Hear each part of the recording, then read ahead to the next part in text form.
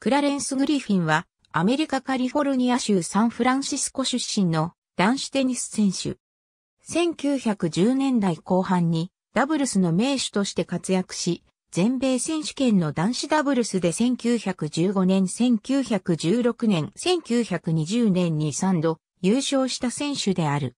フルネームはクラレンス・ジェームズ・グリフィンといい、ペックという愛称で呼ばれた。著名なエンターテイナーのマーブ・グリフィンの叔父としても知られる。右利きの選手。グリフィンは1913年25歳という比較的遅い年齢でテニス界に登場した。彼は全米選手権の男子ダブルスで1915年、1916年、1920年の3度優勝したが、パートナーはすべてビル・ジョンストンであった。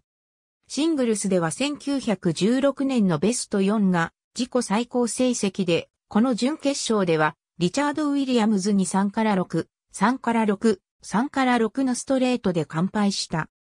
当時は第一次世界大戦の戦時中であり、ウィンブルドン選手権やデビスカップなどのイベントは開催が中断されていたが、全米選手権だけは戦時中も途切れることなく続行された。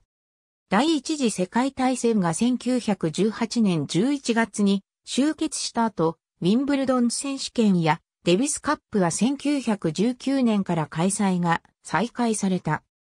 終戦の翌年、グリフィンは1919年にキャリアで唯一のウィンブルドン選手権出場を果たしたが、シングルス2回戦敗退に終わった。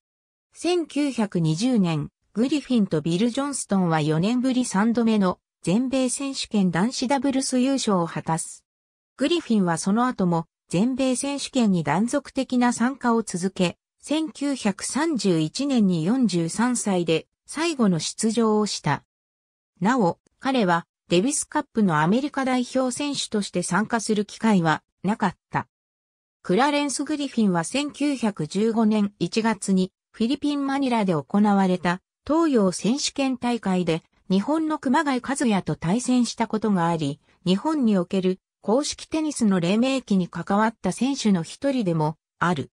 当時、全米テニスランキング6位につけていたグリフィンは、東洋選手権大会のシングルス決勝で熊谷に敗れて準優勝になった。ダブルス決勝では、グリフィンとウォード・ドーソンの組が熊谷と三上橋郎のペアを破り、熊谷の単幅優勝を阻止した。1970年に国際テニス殿堂入り。